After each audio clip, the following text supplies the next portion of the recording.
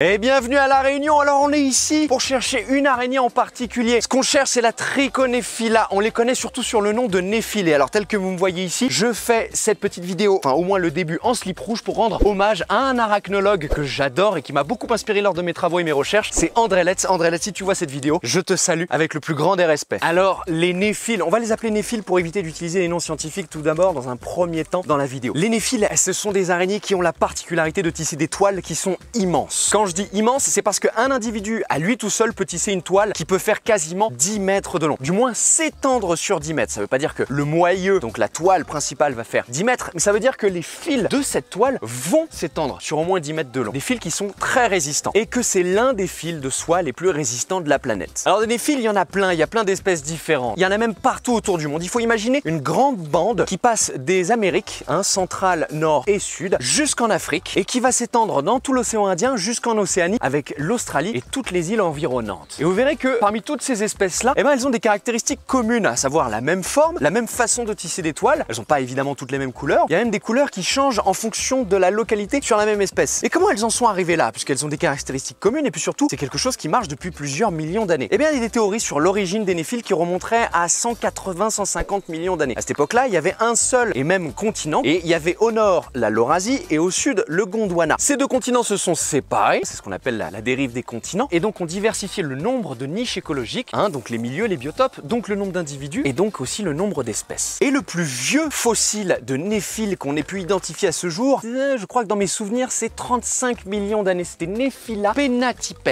une très très vieille néphile qui aujourd'hui n'existe plus. Mais est-ce que vous vous rendez compte, ça veut dire que sur 35 millions d'années, les néphiles n'ont quasiment pas bougé. Elles adoptent toujours la même forme, la même façon de tisser des toiles. Encore une fois, c'est une supposition en fonction de la forme de l'animal. Donc potentiellement le même mode de prédation et avec le même mode de reproduction. Et c'est en ça que ça fait une araignée vestige, une araignée fossile, c'est que c'est une araignée qui est incroyablement résistante dans le temps sur son évolution. Donc 35 000...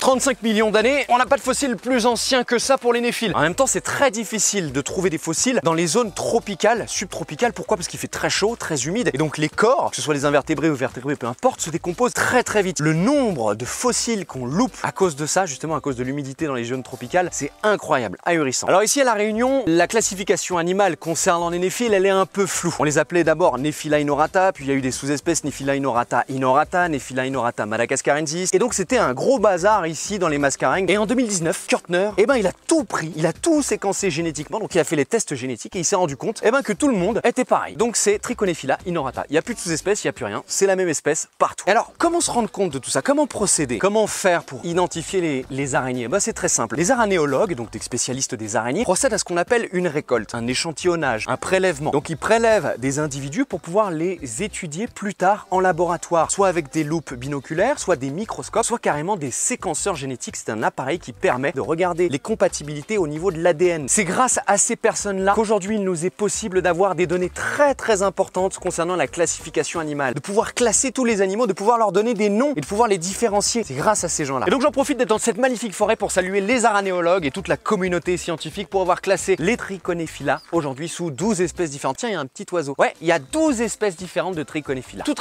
sur l'ensemble du globe, sauf évidemment les zones où il fait super froid et là où il fait super super chaud. Et nous, l'espèce qui nous intéresse aujourd'hui, c'est la Trichonephila inaorata. Vous allez voir que c'est une espèce qui est juste incroyable, autant dans le comportement que dans la couleur, que dans la forme, que dans les mœurs et les habitudes. Sauf que pour la trouver, eh ben ce sera pas dans cette forêt-là. Pourquoi? Eh ben parce que c'est beaucoup beaucoup trop fourni. Elle aime plutôt les grands espaces, les endroits où elle peut y tisser une toile qui est relativement colossale et surtout où il y a des insectes. Ici, c'est une forêt où il y a finalement très peu de fleurs. Ce sont pas des plantes qui vont faire des fleurs ou c'est pas des plantes qui vont être fruitières. On n'a pas d'arbres fruitiers et les néphiles vont plutôt affectionner tout ce qui va être insectes volants. Le souci, c'est qu'ici à La Réunion, eh ben, c'est le département français dans lequel il y a l'utilisation de pesticides la plus intense. Il y a quasiment rien qui est épargné, à part quelques rares zones dans les cirques. Les chaînes de montagnes créées par l'effondrement du Piton des Neiges, c'était un volcan à l'origine, ont créé trois cirques, Mafat, Salazie et Silaos. Les cirques, ce sont tout simplement des creux qui sont entourés de montagnes. Et donc, ça en fait des microclimats et des biotopes qui sont préservés de l'activité activité de la côte. Et d'ailleurs, un autre avantage d'avoir une chaîne de montagne, c'est que les montagnes piègent très facilement les nuages. Et ces nuages vont générer une humidité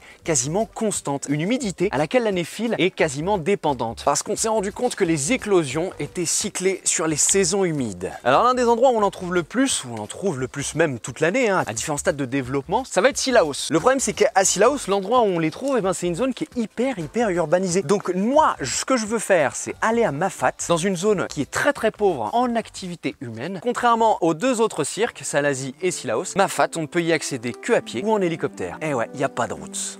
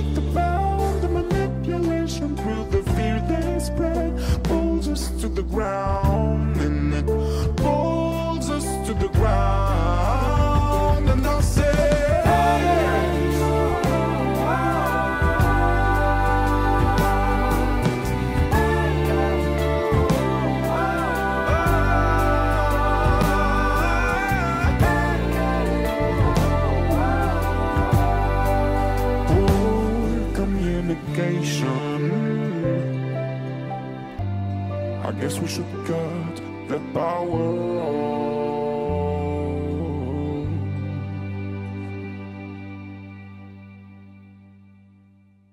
Alors finalement pas de Mafat, oui je sais ça fait une grosse cassure mais en fait on y est allé et il n'y avait pas de bib, plus du tout de bib, il n'y a rien du tout. Donc on a changé, j'ai passé une annonce à la radio, je suis passé en direct sur la radio locale Freedom pour savoir où est-ce qu'il y avait des triconéphilas. Avec l'antenne de Radio Freedom?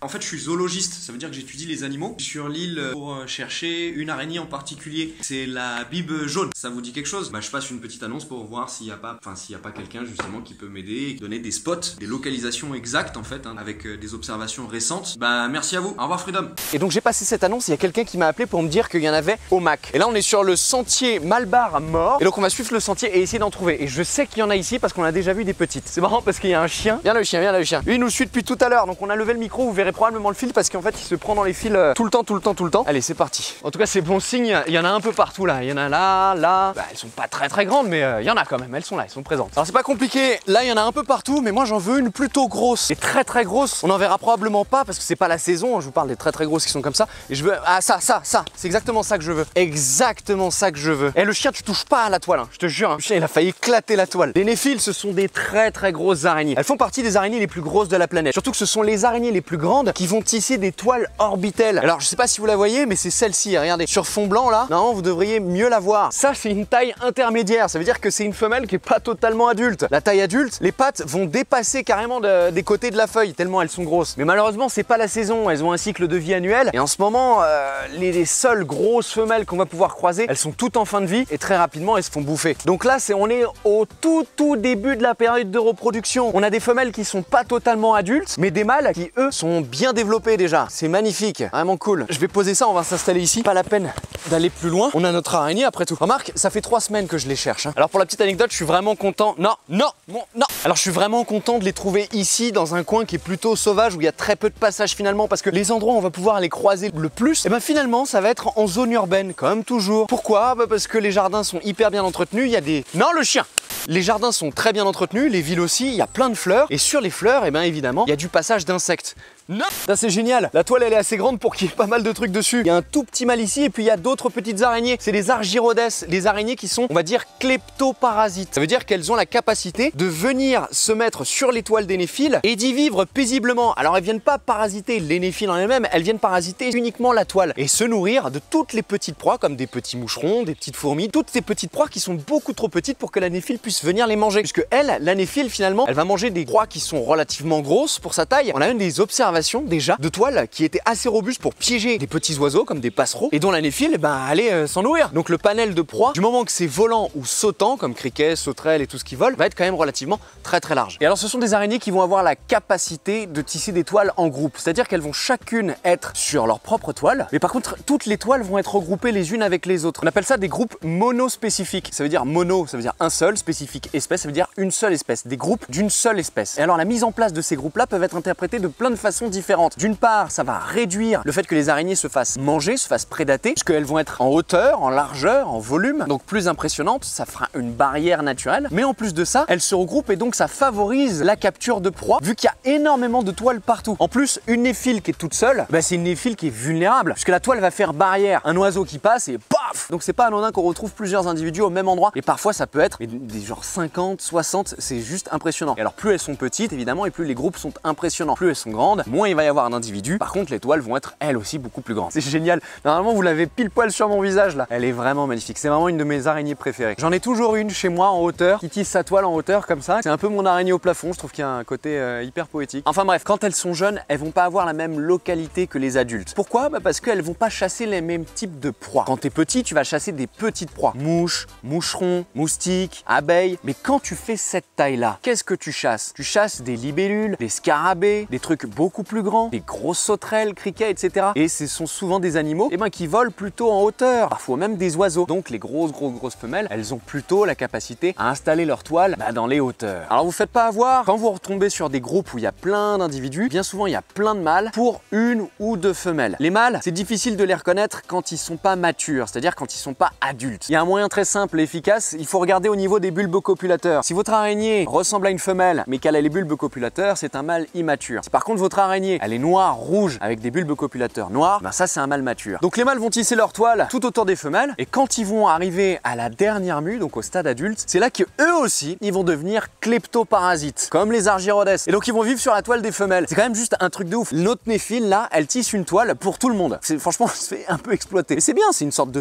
et tout le monde y trouve son compte. Au niveau de la morsure, c'est pas du tout douloureux. Sur les grosses femelles, oui, mais sur des individus comme ça, il y a pas grand chose. Les grosses femelles, ce qui est surtout douloureux, c'est qu'elles ont des très très grosses chélicères quand même. Elles ont des gros chélicères, donc euh, ça perce facilement la peau. En revanche, pour l'inoculation du venin, c'est trois fois rien. Il y a vraiment rien du tout. C'est une rougeur locale, ça disparaît au bout de 24-48 heures. En même temps, ce sont des animaux qui vont surtout utiliser leur toile pour piéger leur proie. Donc elles n'ont pas besoin d'avoir un venin qui est très très puissant puisque la plupart du temps, la proie va être immobilisée grâce au collant de la toile. Et le venin, avant toute chose, eh ben ça sert surtout à immobiliser. Les araignées ne sont pas des grandes combattantes, elles se battent très rarement avec leur proie et comme elles mangent pendant plusieurs heures voire plusieurs jours, leur venin sert surtout à immobiliser la proie pour pas qu'elle se débatte, tout simplement. Alors ce sont des animaux qui sont très peu mobiles, ça veut dire qu'une fois qu'ils ont trouvé un spot pour s'y mettre, ils vont y rester. Ils se déplacent de quelques mètres seulement. Ce sont des animaux qui ont des pattes qui sont dépourvues de scopula. Les scopulas, on retrouve ça chez des migales par exemple, même chez d'autres espèces d'araignées. Mais en gros, ce sont sur les derniers segments des pattes, de toutes les pattes, ce sont plein mini poils qui fonctionnent un peu comme les poils des geckos et qui permettent d'adhérer aux surfaces. Le problème, c'est que ces araignées-là, elles vivent sur leur toile. Donc leur bout des pattes, on appelle ça des pattes de précision. Il est fait uniquement pour tenir sur des supports extrêmement, extrêmement fins. Donc tous les supports lisses, comme les feuilles, ce genre de choses, le verre, le plastique, les murs, eh ben elles ne peuvent pas y aller. Donc elles sont cantonnées et inféodées sur leur toile. Et en plus de ça, si vous l'enlevez de sa toile, elle devient complètement vulnérable. Elle n'a plus aucun moyen de défense. Puisque la toile, c'est aussi un outil pour chasser, un outil pour se reproduire, mais c'est aussi un outil pour se cacher, se protéger des prédateurs. Alors, contrairement aux autres araignées de la même famille, donc c'est la famille des aranéidés, on retrouve les épères, les argiopes, les néphilingis, et ben ce sont des araignées qui ne vont pas tisser de retraite, c'est-à-dire qu'elles ne vont pas sous les feuilles ou ce genre de choses tisser une petite loge de soie pour venir s'y cacher. Non, ce sont des araignées qui vont rester constamment au centre de leur toile. Les seuls moments éventuellement où elles vont bouger, où on va pas les voir, où elles vont quitter leur toile, c'est en cas de forte pluie, ou alors quand la toile a été détruite, même si tout de suite après avoir été détruite, elle commence à la refaire, ou alors quand les températures deviennent insupportables. À ce moment-là, elles vont venir se cacher sous une feuille plutôt. Mais sinon, ce sont des araignées qui, bah, qui sont visibles finalement tout le temps. Elles sont vraiment, vraiment très très belles, très gracieuses. Et quand elle reconstruit sa toile, souvent les fils qui sont endommagés, eh ben, elle en fait des petites pelotes. Soit elle les laisse traîner sur la toile, on peut même les voir, des petites pelotes de, de toile, soit elle les consomme, puisque la toile c'est riche en gras, en eau, en protéines. Un seul fil de cette toile dépasse proportionnellement la résistance de l'acier. C'est très très très solide. Mais vous voyez ça Ça c'est un fil de support, c'est un fil porteur. Il colle pas du tout. Je peux passer ma main comme ça, il est très très très robuste, vraiment très très robuste. Elles sont hyper connues ces araignées là pour avoir été étudiés pendant très très longtemps, justement pour la propriété résistante des fils, les propriétés chimiques des fils de soie. Les fils ont une résistance qui est juste incroyable, très très solide, mais surtout ils sont étudiés pour être utilisés en neuromédecine, en neurochirurgie. Pourquoi? Parce qu'on s'est rendu compte que les fils de soie d'araignée, ils n'étaient pas du tout rejetés par le corps humain. Et donc ils permettent de favoriser la reconstruction des connexions au niveau des neurones. C'est juste, mais incroyable. Mais mine de rien, il faut que vous sachiez que c'est pas cette araignée-là qui a le fil le plus résistant. Pendant très longtemps, on le pensait, mais finalement non, c'est une petite araignée, bah, beaucoup plus C'est Caerostris darwini qui possède les propriétés de résistance les plus élevées de toutes les araignées qu'on connaît actuellement. Et d'ailleurs, je sais pas si vous avez remarqué, mais chez les néphiles, une des caractéristiques qui est frappante, c'est que leur fil de soie, parfois, eh ben, va être jaune. Mais alors, d'où ça sort ça Le jaune, c'est quand même invraisemblable. D'où ça sort? Bah, on se demande si ça viendrait pas des caroténoïdes. Donc les caroténoïdes, c'est ce qui sont responsables généralement des couleurs jaunes, orangées, rouges chez les animaux. Plus l'animal en consomme et plus euh, le pigment jaune va être stimulé. Et plus ça permet de belles couleurs, justement. Sauf que les caroténoïdes, eh ben, ils sont euh, stockés dans le gras, dans les lipides chez les araignées. Et le fil de soie, bah, il est constitué quoi? De minéraux, de protéines, d'eau et de lipides. Et donc ça expliquerait que le fil soit jaune. Mais on s'est rendu compte d'autre chose. Le fil de soie, il est aussi enduit d'acide xanthurénique. Je vais pas vous en parler, c'est... Non, le chien Je vais pas vous en parler, il faudrait beaucoup trop d'une vidéo pour ça. Et puis j'ai pas fait de biochimie moléculaire, alors je suis pas du tout qualifié pour vous en parler. Mais je sais ce que c'est. Et c'est justement parce que le fil ressemble à de l'or que l'araignée a été surnommée la tisserante d'orbe de soie dorée. Très très euh, long nom, à mon sens. Et d'ailleurs, il y a une cape en soie de néphile qui a été réalisée. À ma connaissance, d'ailleurs, je crois que c'est la seule qui a été faite. Et elle a demandé un travail, mais juste colossal. Ouh, colossal. Elle a été exposée au Victoria and Albert Museum à Londres. Et à la base, les deux personnes qui devaient constituer cette cape-là, ça devait être à base de, de, de soie de verre à soie. Hein, vous savez, la, la, la larve de, du bombix du mûrier. Mais l'élevage du verre à soie, c'est tellement compliqué que finalement, ils ont préféré prendre des néphiles. Et alors, c'est une cape qui est juste magnifique. Elle est légère. Et par contre, elle fait au moins 4 mètres de long. Elle est magnifique, elle est dorée. Et alors, pour la tisser, pour la créer, il a fallu prélever plus d'un million de néphiles. Le type de prélèvement était simple. On prélève la néphile dans la nature, on lui extrait son fil et on la relâche. Et le projet, juste pour créer cette cape, ça a duré 4 ans. Simon Pierce et Nicolas Godley ont dépensé 300 000 livres. Ça fait à peu près 400 000 euros pour créer cette cape-là. Et, et, je crois qu'elle ne se vend même pas d'ailleurs. J'aurais adoré la voir en vrai. Alors on pourrait se demander, est-ce que ça les épuise de tisser autant de toiles? Eh ben oui, ça les épuise, mais pas au point de mourir. Pourquoi? Parce que c'est dans le liquide vital de l'araignée, qu'on appelle l'hémolymphe, qu'il y a tous les nutriments de base pour constituer le fil de soie. Et les glandes qui permettent de construire le fil de soie est directement en contact avec cette hémolymphe. Ça veut dire que l'araignée puise dans toutes ses ressources pour tisser sa toile à volonté. Mais en contrepartie, il faut manger. Donc c'est juste épuisant, mais si tu manges, eh ben au final, tu as tous les nutriments nécessaires pour retisser ta toile, tout simplement. Tout l'intérêt de venir filmer ici, c'est qu'on n'entend pas des humains, on entend des oiseaux qui chantent. Je préfère largement. Enfin bon, je sais pas si vous avez remarqué, mais juste ici sur la toile, de toute façon je vous mettrai des plans à corps, sur la toile des néphiles, souvent il y a une sorte de petite colonne de débris, un petit chapelet comme ça qui vient se mettre. Et l'araignée est souvent dans le prolongement de ce petit chapelet là. Ce chapelet, formé de petites boulettes ou de pelets, il est toujours au-dessus de l'araignée. Il peut même parfois faire plus d'un mètre de long. Il est juste immense. Il est constitué de proies, de débris divers, de plein de choses. Et donc ça ferait office de stabilimentum. Le stabilimentum, chez les araignées qui tissent des toiles, comme ça, des toiles en orbe, des orbitelles, ça a plusieurs rôles. Premièrement, ça permet de casser le mouvement. C'est-à-dire que l'araignée va se mettre dans le prolongement du stabilimentum pour brouiller son image à elle. Et ça permettrait aussi apparemment d'empêcher que les animaux trop gros, trop rapides comme les oiseaux ou d'autres mammifères, viennent se prendre la toile et donc la casser. Puisque du coup c'est visible, c'est hyper hyper visible. Et alors elles ont une façon de tisser leur toile qui est très très belle, très rapide. Elles tissent leur toile très rapidement. Elles utilisent leurs deux pattes arrière. Il y en a une qui vient directement prendre le fil de soie à la source, donc au niveau des filières, et l'autre qui vient ramener le fil de soie sur lequel il faut accrocher le nouveau fil. Donc elles font ça, clac clac clac clac clac, puis elles reviennent en fait en arc de lune, puis elles reviennent, puis elles reviennent, etc. Et elles font ça bah, jusqu'à ce que la toile soit tissée. Et une fois que la toile est terminée, elles vont venir se mettre au centre. Et alors, elles auront toujours la tête en bas. Et elles seront toujours sécurisées par un fil de soie qu'on appelle le fil de sécurité. Alors là, vous voyez pas forcément, mais je vais essayer de la manipuler ou du moins essayer de la changer de sens parce que je veux absolument que vous regardiez le dos. Il n'y a absolument aucun risque de la prendre dans les mains, celle-ci. Vous voyez, elle, est, elle a une tache jaune sur l'abdomen. Elles ont pas toutes ça. C'est encore quelque chose qui est légendaire chez la Trichonephila inorata. Parfois elle apparaît, parfois elle apparaît pas. Et en fait, on sait toujours pas pourquoi. Il y en a qui ont des taches et d'autres qui ne l'ont pas. Donc il y a une variabilité au niveau de la coloration qui est hyper dingue chez cette espèce-là. Et pourtant, tous les individus font partie de la même espèce. Il n'y a plus de sous-espèces, il n'y a plus de localité, il y a plus de... Il y a une seule espèce, c'est Trichonephila inorata. D'ailleurs, ce qui est bien, c'est que quand elles ont une tache jaune, on peut voir les battements cardiaques à travers. Ça, c'est impressionnant. Ça, c'est super cool. Je vais la reposer sur sa toile. Normalement, vous verrez toujours le ventre. Pourquoi? Bah Parce que c'est le ventre qu'elles exposent à la lumière du soleil. Justement, il y a beaucoup moins d'organes vitaux qui sont au niveau du ventre que d'organes vitaux qui sont au niveau du dos. Donc, elles protègent le dos du soleil et viennent chauffer plutôt le ventre. Et c'est grâce à cette énergie du soleil là qu'elles arrivent à être en activité. Plus il fait chaud et plus sont actives. Alors quand elles n'ont pas forcément faim, elles peuvent faire des réserves qui peuvent aller jusqu'à 15 proies qu'elles vont venir manger euh, avec le temps un peu plus tard. Et alors comment elles se reproduisent? Eh oui, avec un mâle et une femelle, évidemment. Quoique c'est pas toujours évident. Sur Terre, l'hermaphrodisme ou la parthénogenèse, ça existe. Mais pour les araignées, généralement, il faut un mâle et une femelle. Ou du moins, pour cette fois-ci, plusieurs mâles pour une femelle. Les mâles vont venir se mettre sur la toile de la femelle et c'est généralement au plus imposant que revient le privilège de pouvoir s'accoupler avec la femelle. D'ailleurs, c'est assez intéressant. Il y a des mâles qui sont beaucoup plus gros que d'autres, ou plutôt il y a des mâles qui sont aussi beaucoup plus petits que d'autres. C'est comme chez les humains. Il y a des grandes personnes et il y a des personnes plus petites. Cette différence de taille va s'expliquer soit génétiquement, et c'est bien souvent à cause du nombre de proies que l'individu va manger tout au long de sa vie. Moins tu manges, moins tu te développes. Plus tu manges, plus tu te développes. En tout cas, ce qu'il faut retenir, c'est surtout que les mâles entre eux ne sont pas cannibales. Ils préfèrent vraiment éviter le conflit. Et à l'issue de cette reproduction, la femelle va être gestante quelques semaines, faire un cocon très très résistant, très jaune, très robuste. Les œufs vont être bien emmitouflés. On va compter entre 300 et 3000 œufs. C'est juste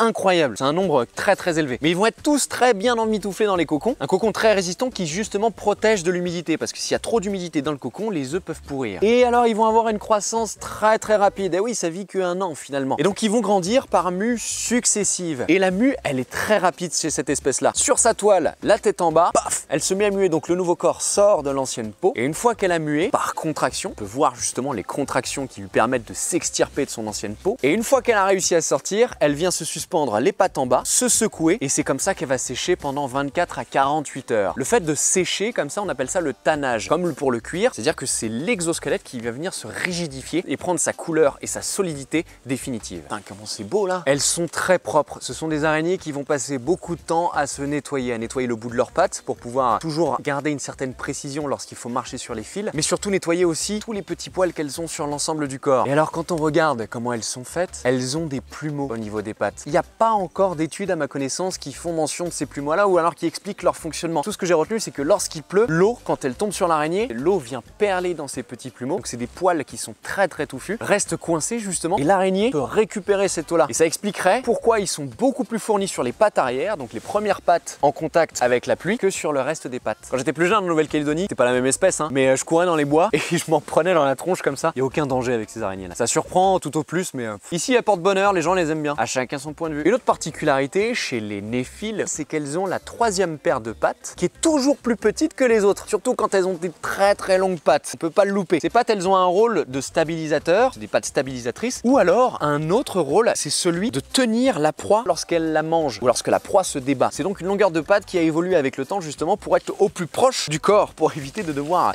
ramener comme ça. C'est beaucoup plus pratique et on a beaucoup plus de force quand c'est court que quand c'est long. Et une fois qu'elles ont bien mangé, eh ben elles font caca. Ouais, elles défèquent. Alors c'est comment le caca des araignées Ben c'est blanc, marron. Ouais, une toute petite tache. Et ça tâche, hein, ça tâche pas mal. D'ailleurs, je sais pas si vous avez remarqué, mais chez vous dans les maisons, parfois quand il y a des araignées qui se sont installées, vous regardez au sol, en dessous de la toile, eh ben, il y a plein de petites taches blanches. Ouais, c'est du caca d'araignée. Moi, c'est au-dessus de mon bureau, elle fait sa crotte tous les jours, au-dessus de mon ordinateur. Et tous les jours, je nettoie mon ordinateur parce que j'adore ces araignées. Je suis vraiment content de les trouver. C'était une vidéo qui était très laborieuse. On a mis beaucoup de temps pour en trouver une de cette taille-là, mais en même temps, c'était pas la saison. Les grosses vont être plutôt visibles en hiver austral. L'hiver austral, pour bien comprendre comment ça fonctionne, et ben dites-vous bien que pendant qu'il fait très très chaud en métropole, en France, et ben ici, il fait plutôt froid. En fait, c'est inversé. Les saisons sont inversées. Du coup, je suis hyper content d'avoir réussi à trouver la néphile dans un environnement pas trop urbanisé, plutôt cool. En tout cas, les néphiles sont des araignées qui sont surprenantes. Elles ont encore beaucoup de choses à nous apprendre, je pense. Je suis vraiment trop content d'être là. Je suis venu la chercher, je l'ai trouvée, je vous fais la vidéo et je vais la publier la vidéo. Je suis, je suis trop saucé, je suis, c'est carré comme on dit. Et donc voilà, c'est la fin de cette vidéo sur la Trichonephila inorata, la néphile dorée, la bibe